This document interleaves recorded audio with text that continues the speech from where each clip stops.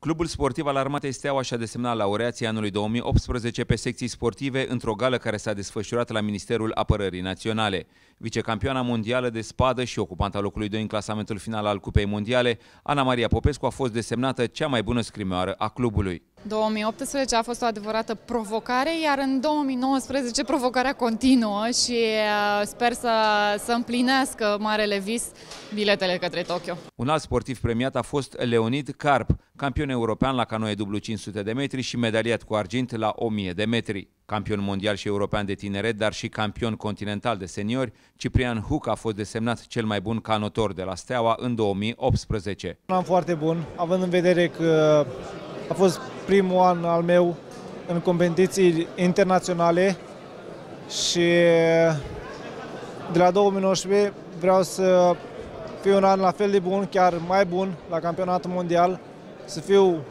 dacă nu pe podium, puțin mai sus decât anul trecut.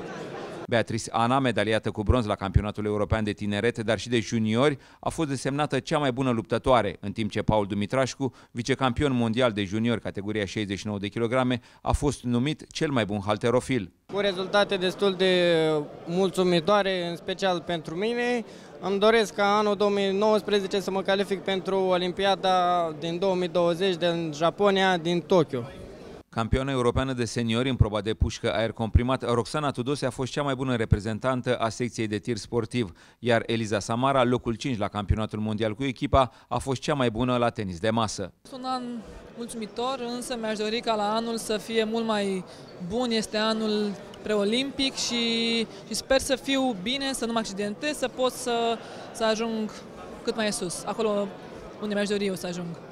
Sporturile de contact au fost cele bine reprezentate. Lorena Podelenski, vicecampioană mondială de seniori, a fost cea mai bună sportivă a secției Sambo, în timp ce la box Robert Gitaru, campion european la sub 22 de ani, a fost desemnat cel mai bun sportiv al secției. A fost un an excelent, având în vedere că am luat medalii la campionatul mondial și că m-am calificat la Jocurile Europei de anul viitor și pe anul 2019 îmi doresc cât mai multe medalii și clasări cât mai sus în fruntea clasamentului.